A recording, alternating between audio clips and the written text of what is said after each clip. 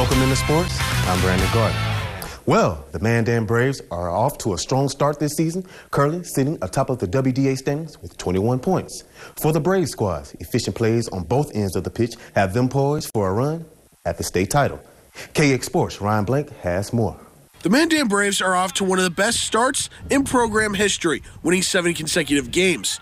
One key to the Braves' success has been the core of eight seniors. You know, I've spent a lot of a lot of years, probably six, seven years with the senior class um, on the club side as well. So I think it's really helped, and they've just really kind of shaped the program in the last three, four years. We've all been playing together for so long, and we we know each other on and off the field. We're friends on and off the field, and I think that really helps us out on the field and to play our game. Another reason for the early season success is Sarah Helderop. After a 12 goal campaign as a freshman last season, the sophomore midfielder leads Mandan with 24 points, including 17 goals.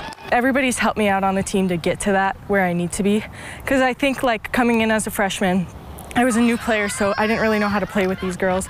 But now, like building off of that this year, I think we've gotten a lot better together, not just individually. As a sophomore, the way she's playing at the minute is fantastic, and she kind of kind of started last year as obviously as a freshman and was kind of struggling maybe towards the end of the season, but.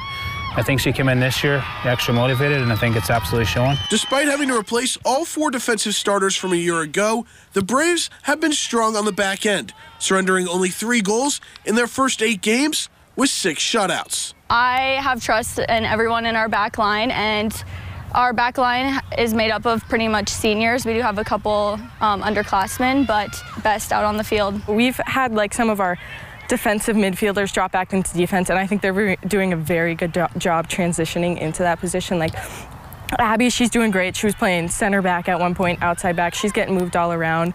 You know, Mila's played everywhere on the field. After falling in penalty kicks in the state tournament last season, Mandan is motivated to take the program where it's never been before a state championship game. Every year we've been so close, and every game has been so close. That's my number one goal for the end of this year, and I think that everyone on our team has the same goal. So I think we can do it. The fact that we didn't do as good as we definitely wanted to and think we could, like I think that's what's motivating us is we want to do better and we think we can beat the better teams like Minot and those teams out there. Reporting for KX Sports, I'm Ryan Blank.